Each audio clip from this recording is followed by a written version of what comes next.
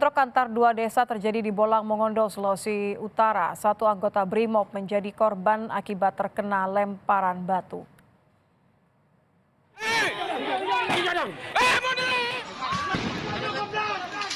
Kedua kelompok warga saling serang menggunakan senjata tajam di perbatasan Kelurahan Imandi dan Desa Tambun, Bolang, Mongondo.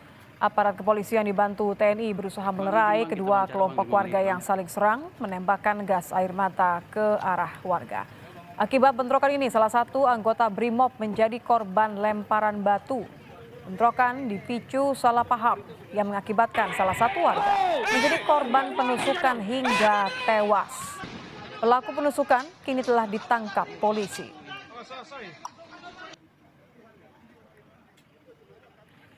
Tidak mudah terprovokasi. Gitu tapi kalau kemudian mereka atau masyarakatnya juga mereka melakukan tindakan anarkis pasti kami akan melakukan tindakan-tindakan tegas terukur. Gitu ya